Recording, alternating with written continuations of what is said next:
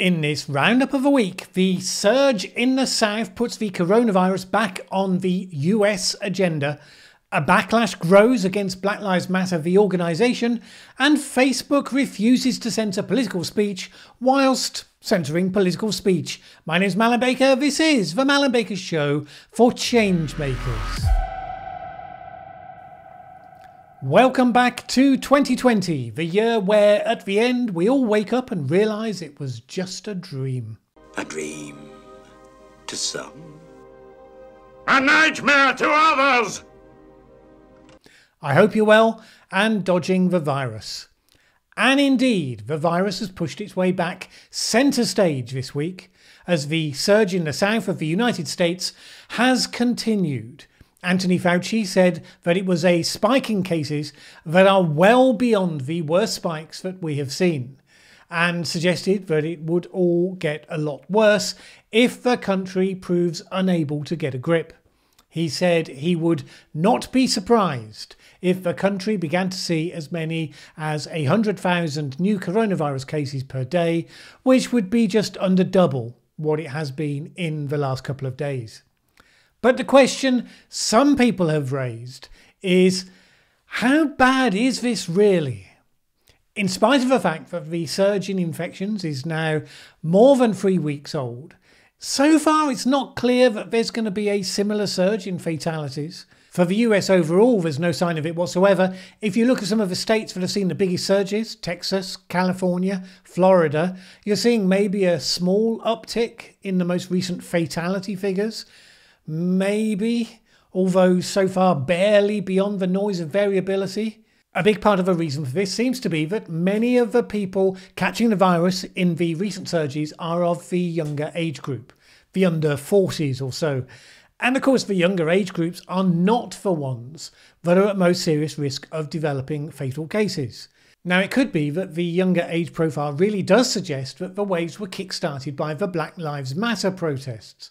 These were, after all, gatherings of mostly younger people in closer proximity that started about four weeks ago and carried on. However, there are a lot of people who don't want to go there, and this week we saw just how far that determination could go. A study was published and made a few headlines to the effect that the Black Lives Matter protests didn't just not contribute to the recent surge in COVID 19 cases. Oh, no, no, no, no, no. They actually slowed the spread of coronavirus down. Obviously, because anti racism kills the virus. It's science. And as you might expect, that immediate snarky reaction was typical of about half of the population when they heard this story. The other half said, Oh, thank goodness, see, we told you it wasn't a problem. As ever, let's step beyond the things that the partisans would like to believe and look in more detail at what the study actually said. So, the researchers are not claiming that the actual people who go to the demonstrations are not putting themselves at a heightened risk. Andrew Friedson, one of the paper's co authors, said, We think what's going on is that it's the people who are not going to protest are staying away. The overall effect for the entire city is more social distancing because people are avoiding the protests. They said that they didn't attempt to figure out whether the protests spread the virus, which would have been hard with a bunch of people like Andrew Cuomo specifically refusing to ask people with infections whether they'd been to a Black Lives Matter protest. But they looked at the bigger picture. They looked at 315 American cities with populations of more than 100,000 people, identified the 281 cities that had the protests, and used the remainder as a control group. They said that they found the process correlated with an increase in stay at home behaviour in the cities where they occurred. And the increase was larger in cities that saw more sustained protests or reports of violence. So, the avoidance behaviour of the majority of the population outweighed the spreading behaviour of the protesters. That's the contention. Public speech and public health did not trade off against each other in this case. But he also added that this didn't hold true for other events, such as opening up outdoor venues, because it wouldn't create that avoidance behaviour. I have to say, reading the paper, it does read like some people who set out to support the Black Lives Matter protests. It goes into detail about the death of George Floyd that provoked them, and it says things like At the same time, protests designed to galvanise public action for social justice are by definition large public gatherings in which it is difficult to avoid close contact with others. I would just assume a neutral science paper would talk about the large gatherings, which is the relevant factor, not the whole bit about galvanising public action for social justice. And you know, if you look at Friedson's Twitter account, he, he's not an extreme activist as far as the evidence consists, but he's certainly liking and retweeting standard Black Lives Matter protest tweets, which is what a number of people now expect. Since the letter signed by a thousand health professionals, none of whom, by the way, included any of the authors of this paper, saying that Black Lives Matter protests were justified because of the issue, and in spite of the impact on COVID 19, people on the right have just lost a certain amount of faith that professionals in this field are able to put aside their own partisan leanings in their advice relating to the virus, which is incredibly damaging, you might think. Because look at what this paper actually says. These demonstrations carried with them the threat of violence. People scared of being the targets of violence stayed away, and that was a win on the pandemic. Public speech and public health did not trade off against each other. If you're prepared to overlook that you have a bunch of people scared of being the target of violence in their own community, I mean, that seems like quite an important factor for me. A negative factor, you might say. You could have taken this research and perfectly happily put it under the headline Black Lives Matter protests provoke fear of violence in a large percentage of the population. And you could also suggest that the data might support the contention that the events provided the seed corn for the upswing in the virus. Who was going to these protests? Predominantly young people. Who would be most afraid of violence? Predominantly older people. But it seems nobody wanted to run those sorts of headlines. The idea that you would celebrate the positive effects of provoking a fear of violence in the community, that is something I find really quite remarkable. Now, this paper hasn't yet been peer reviewed, so maybe some of the commenters on it will highlight some of the issues underpinning its conclusions. Maybe. The mainstream media are mostly talking instead about Republican states that relaxed lockdown too soon and too far. It's all those people going out to bars that is feeding the problem. And it's perfectly possible that that is indeed a factor. Even if the problem was seeded by the protests, those young people then go to the bars, and the younger they are, the more likely they're, you know, cavorting I hear the young people do that sort of thing these days. Utterly disgraceful. Rather than just sitting together and having a beer, which is all that the old duffers can manage. Of course, some people say, well, it must be down to the Republicans because you only have to look at where the surge is happening. Mostly Republican states. And that's because they're all stupid Trump like people who prioritise the economy over human lives. And we saw yesterday the first named person who was at the Trump rally in Tulsa who'd been confirmed with COVID 19, former presidential candidate Herman Cain, who has been hospitalized. At the age of 74, it's obviously not a trivial matter that he has the virus, which isn't stopping people making hay with the fact that he was at the Trump rally. But the virus doesn't care about your politics. So let's again step back for a moment, put this into context of what we've seen around the world and not just in the US. Around the world, we've seen the places that were hit the hardest originally, by and large, not seeing a second wave as they relaxed lockdown. Italy, Spain, in the UK, London, in the US, New York. The places that were hit the hardest in the early stages tended to be the places of high population density and particularly high population density, where the local culture wasn't necessarily one that would naturally and quickly embrace high discipline. It's not the only causation factor, but there's a strong correlation. For all that people are saying that the numbers that caught the virus in those places weren't anywhere near a high enough percentage to create herd immunity from the virus, nevertheless, none of them are seeing a second wave. Different countries, different governments, different systems, a study this week by the Swedish Karolinska Institute suggests that immunity in former hotspots could be twice as high as previously thought, since up to a third of healthy people who never had symptoms may have developed immunity to it, something which wouldn't be picked up by the antibody tests, which have been less reliable anyway than previously hoped. And if that turns out to be true, it would certainly go some way to explaining why we have seen so few resurgences. You can't, much though the politicians would love to, point at local leadership as being a huge factor in what happened in those places. Now, the Republican southern states that are being hit right now did not get hit much at all in the time when New York and some of the other Democratic states were under the most pressure. States with major urban areas of high density tend to be Democrat. More rural, spread out states tend to be Republican. It's far more likely it's the nature of the territory than the policy of the state government that's the biggest factor. Which doesn't mean that governments can't do dumb stuff that makes things worse. By and large, that's kind of what governments do. But the propensity to do that doesn't seem to differ between the two parties. And of course, this is also why the study that said the protests didn't have an impact is again questionable. If you look at the areas where there were protests, many of those were in the big cities where we've not seen a growth in cases. Indeed, we've seen continued decline. Because the cities are where the most unrest happens, where the most protests happen. Those can average out the impact of a protest that took place in the major cities in the states that have seen the surge. But this really becomes one of those areas where people choose to believe what they want to believe.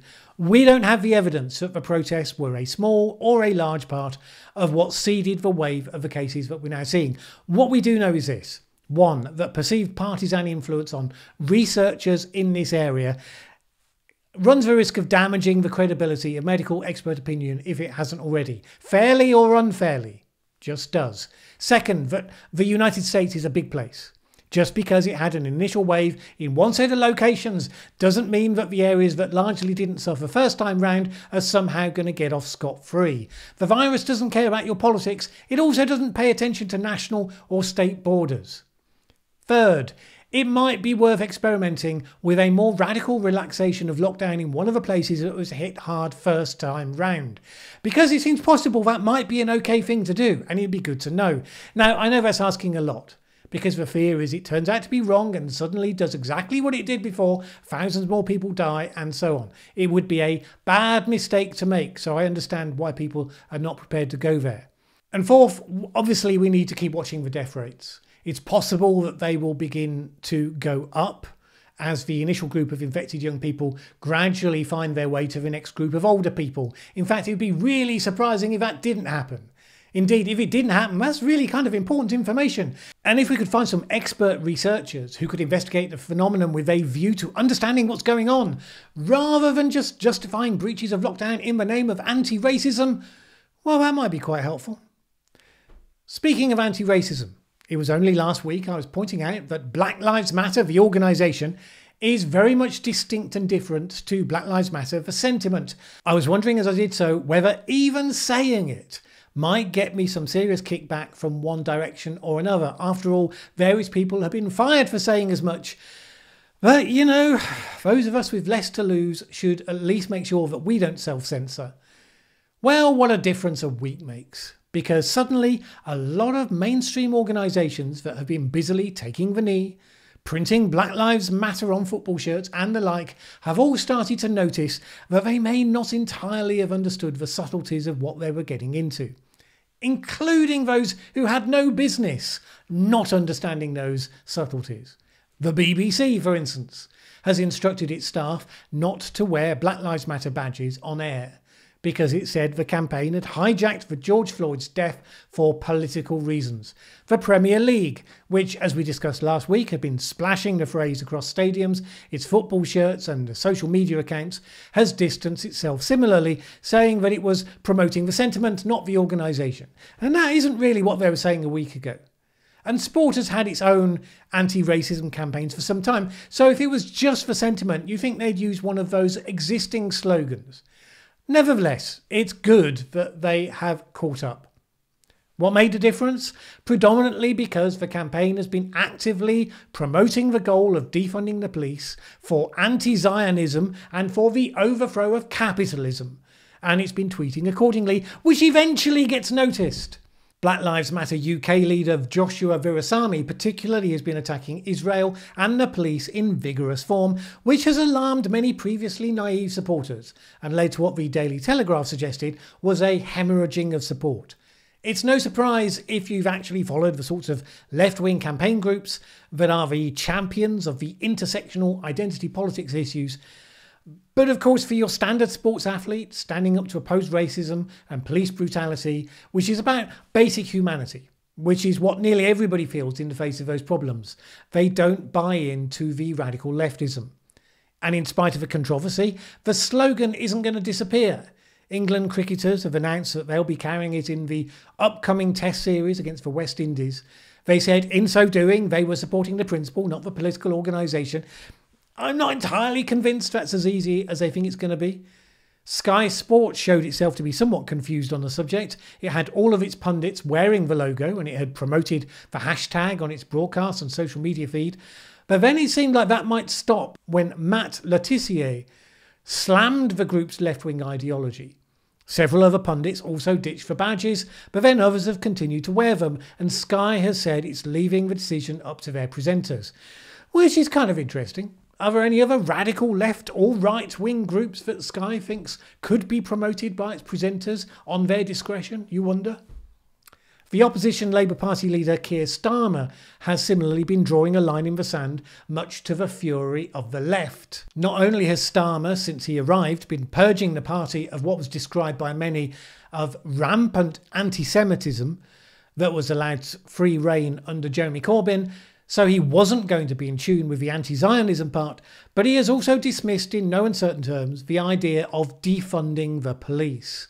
In return, Black Lives Matter UK responded with, well, some vigour. They called him a cop in an expensive suit and said that he had no right to tell them what their demands should be. I'm not aware that he thought he was telling them what their demands should be. He was just pointing out that the idea of abolishing the police was nonsense, which seems fair comment. And I think it's still a mainstream view, at least for now. Unfortunately, it doesn't seem likely that the various institutions will take the next step and begin to properly question the whole intersectional culture wars that underpins the philosophy of a lot of these left groups.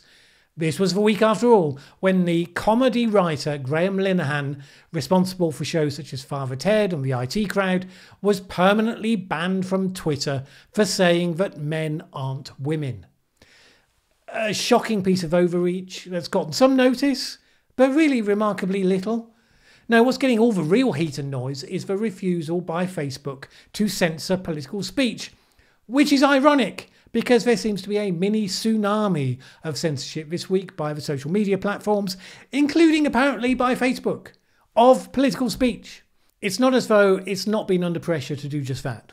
Mark Zuckerberg's initial statement that, unlike Twitter, Facebook wouldn't censor political advertising during the election led to a storm of protest. This week, a number of corporate advertisers, including Unilever, Hershey, and Honda, announced that they would not advertise with Facebook through July, which was connected to what campaigners and the mainstream media described as Facebook's inaction on hate speech.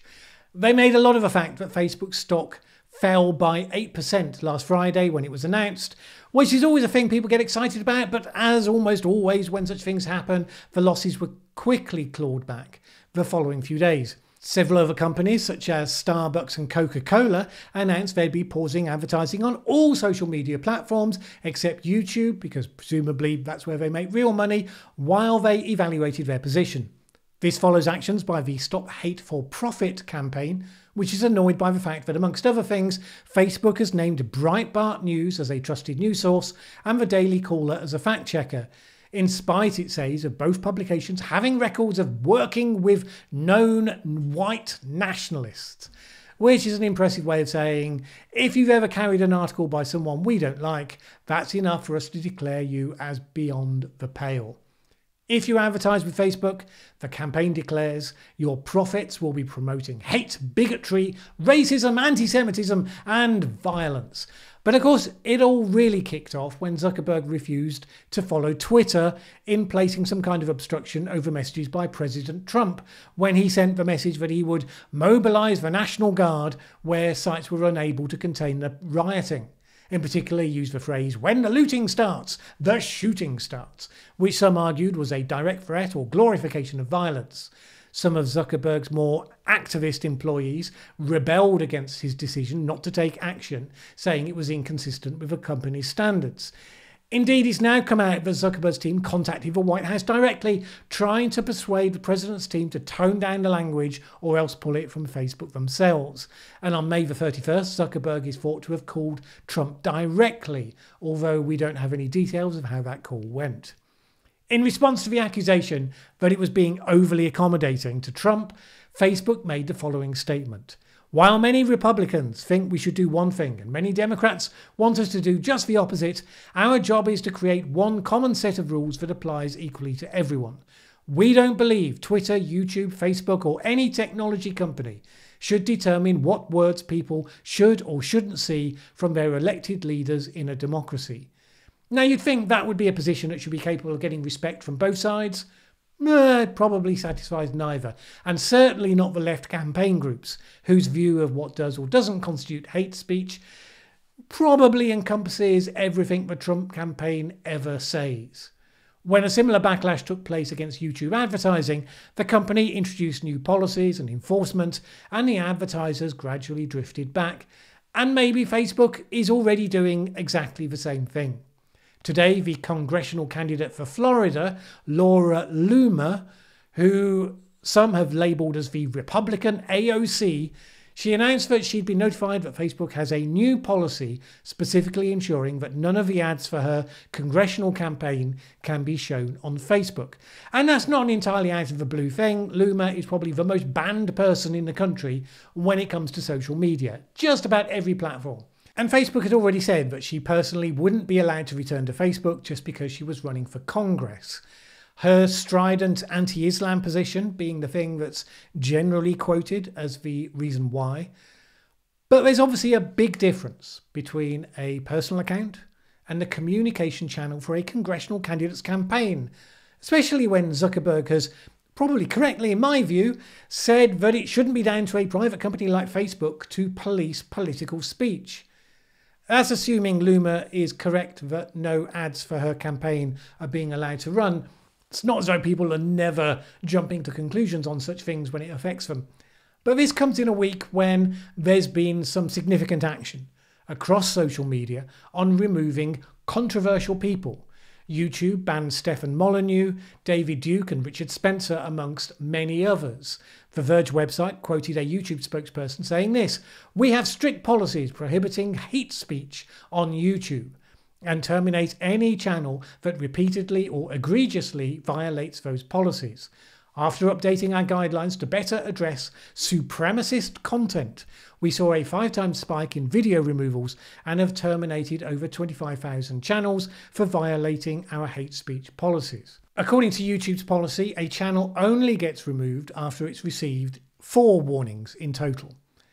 All those channels, according to YouTube, were guilty of repeatedly violating its policies by claiming that members of protected groups were innately inferior to others, as well as other violations. But the fact that it hits so many channels at once suggests something outside of a normal one warning plus three strikes and you're out process has been going on. Now, of course, YouTube is a private company, it can do what it likes. And if people have genuinely been promoting violence or something like that, then that shouldn't be tolerated.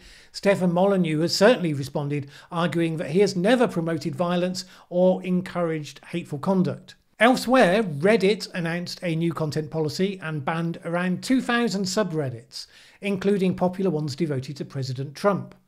And of course, Twitter has recently banned figures such as Katie Hopkins, who promptly sprang back up on Parler and Twitter continues a guerrilla war with Trump himself, most recently taking down the president's much reshared meme that carried the message In reality, they're not after me, they're after you, I'm just in the way. This was taken down because of a copyright claim on the image used by the New York Times. And so it continues. Is it a big left wing conspiracy?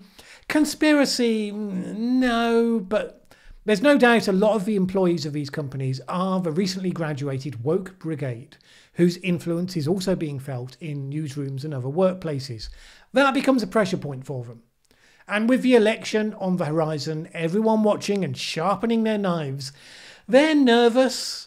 You know, the YouTube algorithm has been running on paranoia mode ever since the coronavirus sent their employees home, which is why every one of my own videos now gets demonetized on publication, only to be cleared two or three days later when a human being gets round to looking at it. The message from all that really stands as an answer to my earlier question in the light of the various organisations distancing themselves from Black Lives Matter, the organisation. No, the battle on free speech isn't over. With the election coming and with the various campaign groups on the march, it's really just beginning. And although everyone can end up heading off to the social media channel of their choice, whether it's Twitter or Parler, Ultimately, we need a mature understanding of the best enabling role of social media platforms with some agreement on where the line should be drawn. Needless to say, all this uncertainty makes me particularly grateful to the wonderful people that have signed up in the last couple of months to support this channel on Patreon. I never quite know whether I'm the middle of the road sober centrist that I thought I was, or a dangerous radical, as I felt in some of the recent episodes talking about the pandemic and Black Lives Matter. Either way, having supporters means I can focus on talking about the issues that matter, regardless on whether they get demonetized by YouTube or not. So, as always, if you want to support the independent, fact focused, and non ideological content this channel aims to provide, please consider adding your support to that of the generous folks that have done so already. Either way, have a great week. My name is Mallen Baker. This is The Mallen Baker Show.